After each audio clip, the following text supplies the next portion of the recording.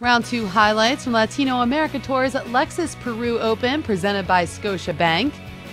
Held in Lima, Peru this week. And Kent Bulle will start things off for us on the 8th. This for Eagle to jump to 7 under par.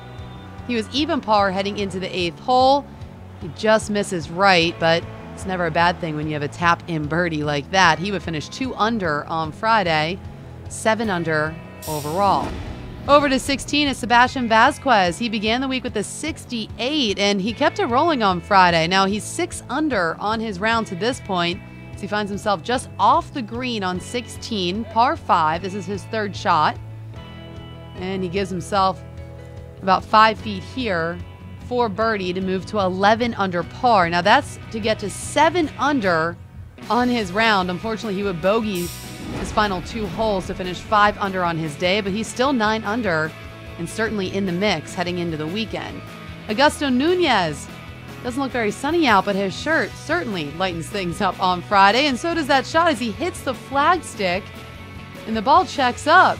Sometimes that's a bad break, but not for Nunez as he kicks that in to move to six under par. Now he finished with an eight under 64 on Friday.